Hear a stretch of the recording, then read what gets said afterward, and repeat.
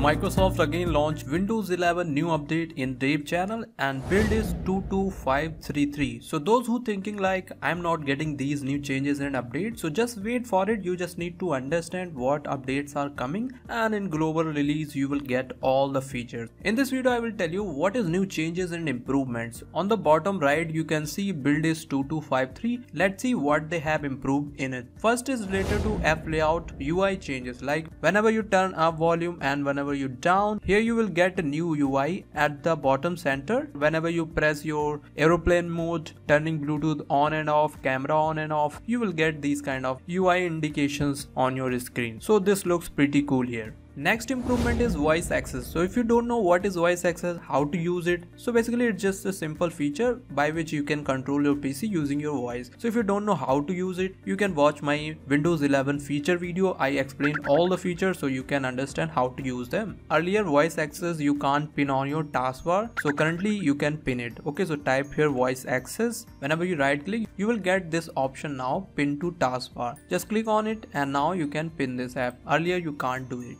Next improvement is related to window plus X key. Earlier you getting here features and apps. So now you will get here option to installed app. Directly just click on it. Now you can easily uninstall Windows 11 apps by just clicking on three dot and uninstall. So control panel things are just moved to this setting app. Next is you can uninstall the clock app. So they just giving some more and more option to uninstall pre-installed app on Windows 11 right? So whenever you right click you will get here one option to uninstall this. So I'm not going to uninstall because sometime I use it. So if you don't use then you can directly uninstall it. Next is they are extending the 13 new touch keyboard theme to every dev channel right? So if you don't know what it is so basically whenever I open this emoji section you can see this is a simple just white theme. So basically you can change the theme here for your touch keyboard. Okay so how you can do it? Just go into settings and in settings go into personalizations. Here we'll see text input option. Click on it and here you can see all the new themes here. So like uh, i want to set this and now whenever i open this emoji section you can see themes are applying. Same like whenever you press window plus h key open this voice tapping. So here this theme is also applying. Some people earlier are getting this or some not. Now all users users are getting this. And the next improvement is in your your phone app. Like if you're using your phone app then you will get this kind of a calling experience. Like whenever you're calling someone or talking to someone from your desktop then you will get this kind of notification or some kind of UI on your monitor. And if you don't know how to use your phone apps I have very interesting or